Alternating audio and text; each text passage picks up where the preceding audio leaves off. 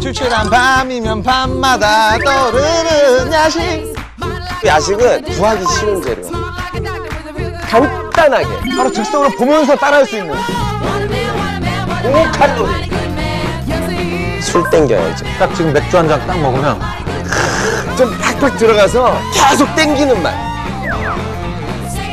거하고 진하고 자극적이고.